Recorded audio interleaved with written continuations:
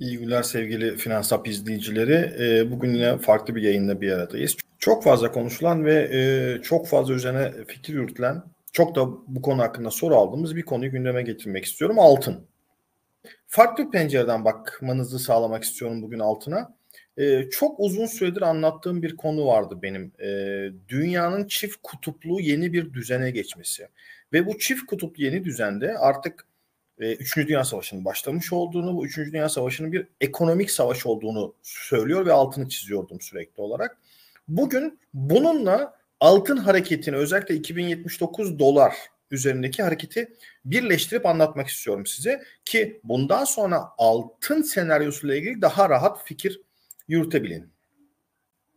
Şimdi bu son bir yıl içerisinde e, e, yani Amerika'nın tahvillerine e, yatırım yapan ülkelerin yaptığı yatırımlardaki değişim. Tabi bu biraz karışık, biraz daha e, sade halini göstereyim. Görüyorsunuz ki esasında 2021'de başladı Çin. E, Amerikan tahvillerini satmaya. Çin Amerikan tahvillerindeki en büyük e, yatırımcılardan biriydi. Fakat 2021'de başlayan e, tahvil satışı 2023'te özellikle ciddi anlamda arttı. Çok ciddi pozisyon azaltmaya başladı Çin Amerikan tahvillerinde. Ee, ve oradan çıkan parayla ciddi anlamda altın almaya başladı. Ki e, dünyadaki altın Amerikan e, tahvilleri rasyosu bu olayla birlikte değişti. Eskiden e, ters kolere olan tahvil ve altın bu Çin'in pozisyon değişikliği sonrasında ilk defa 24 başından itibaren aynı yönde hareket etmeye başladı ve bu kolerasyon bozuldu. Bu kolerasyonun bozulmasının esas sebebi Çin'in Amerikan tahvillerindeki pozisyonlarından pozisyonlarını azaltıp bunun yerine çok ciddi anlamda altına yatırım yapmasıydı. İşte burada e, yansıda görüleceği üzere Türkiye'de var. E, Türkiye'nin olmasının sebebi geçen yılki dış ticaret açısından bunu zaten çok net görüyorsunuz. Bu yıl bu kadar büyük bir alım yok. Geçen yıl Türkiye çok ciddi bir altın pozisyonu aldı Türk Merkez Bankası. Bu kolerasyon bozulduktan sonra yani tahvil e, altın kolerasyonu bozulduktan sonra ünlü bizim ya burada da şey onu da göstereyim. Çin Merkez Bankası artık ağırlığını, yatırım ağırlığını dolar yani dövi, dolar yerine altına kaydırdı. Ya bu da şeyi gösteriyor işte. Tahvilleri satıp altına geçtiğini.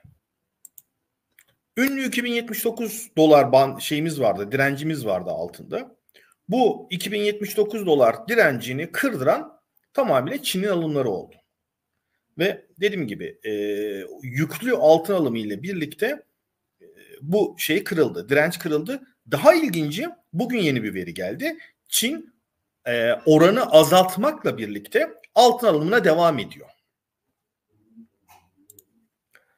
E, dünyada işte altın rezervi olan ülkelerin sıralaması Çin bunların içinde altıncı. Ve gittikçe e, bir üst sıralara doğru ilerliyor Çin.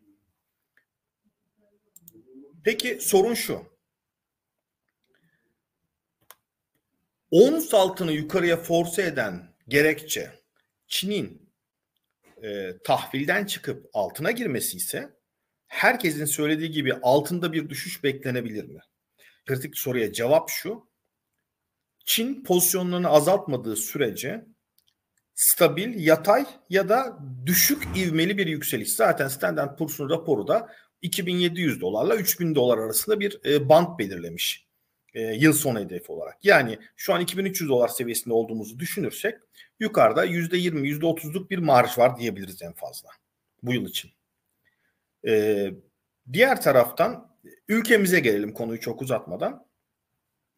Türkiye'de gram altının hesabı çok basit. Ons altın çarpı dolar TL paritesi bölü 31.10. Hesabı bu kadar basit. Yani gram altını e, etkileyen esasında 3 etken var. Biri ons altın, öbürü DXY yani USD bölü TRY'dir. Bu bağlamda biri DXY yani USD'nin fiyatını belirleyen öbürü de TL'nin değeri. Bu bağlamda üç değişkenimiz var. önümüzdeki dönemde işte bu yılın başında 4 tane e, faiz indirimi beklenirken Fed'den e, son söylemler bunun bir ya da sıfır olacağı. Merkez Bankası sürekli rezervlerini arttırıyor ki bugün e, Merkez Bankası toplantısı vardı enflasyonla ilgili. Orada da e, Sayın Başkan Karan çok güzel anlattı. Hatta bunu swap'a da bağladı. E, swap'la ilgili sorulan soruya şunu söyledi. Olası risk alanları ortadan kalk. Bir dedi swap bizimle ilgili bir husus değildir. BDDK'nın düzenlemesidir. İki bize görüş sorulursa güvenli alan, risk alanları ortadan kalkmadığı sürece e, soru işaretleri kalabilir ya da e, kademeli geçilebilir gibi bir ifade kullandı. Bu da şu demek e, rezervler yeterli e, seviyeye ulaşmadan bunu yapmak istemiyorlar. E, alt metni vardı o söylemin altında. E, bu demek oluyor ki rezervleri doldurmaya devam edecek ki her gelen veri rezervlerin arttığını gösteriyor.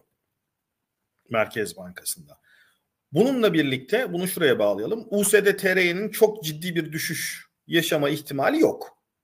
Şu an. Niye? İşte Fed faiz indirmeyecek ya da bir tane indirecek.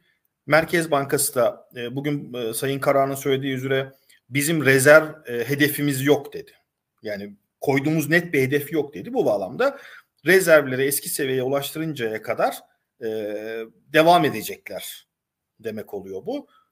Bu da dolar TL paritesinde çok ciddi düşüş beklememek gerekiyor.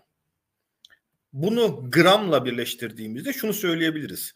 Ons altın Çin satmadığı sürece e, e, çok ciddi bir düşüş trendi olmayacak ve e, işte Standard Poor's'un söylediği gibi 2700-3000 dolar seviyelerine alım iştahına göre e, değişecek bir yolculuk içinde olacak. E, dolar TL'de de çok ciddi bir düşüş yaşanmayacağı öngörüsüyle ki e, bir 38 liralık hedef koydu bu yıl e, açıkladı Standard Poor's Türkiye için. 38 civarıydı yanlış hatırlamıyorsam.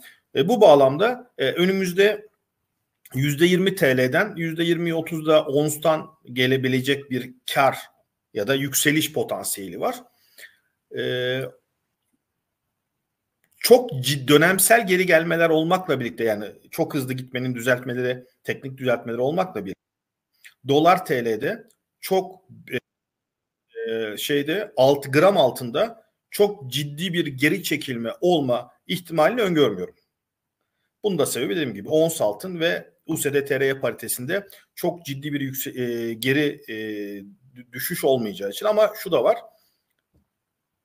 Enflasyon kontrol altına alınırsa e, cari açık belli seviyelerin altına getirilebilirse rezervler istenen seviyeye ulaşırsa bir süre sonra dolar dövizde gevşeme olacağı, dolarda gevşeme olacağı, bu gevşemeyle birlikte ons altın artsa bile e, gram altında çok ciddi bir artış olmayacağı tezi bence bir süre daha rafta beklemesi gereken belki 2025 için e, tekrar raftan inebilecek ve tekrar değerlendirilebilecek bir tez olarak durmalı. Dediğim gibi ons ve dolarda gevşeme olmadığı sürece e, gram altında çok geri e, gram altına çok geri gelmesini öngörmüyorum.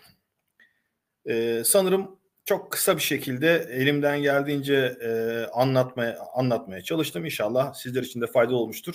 Başka bir yayında görüşmek üzere diyorum. İyi günler.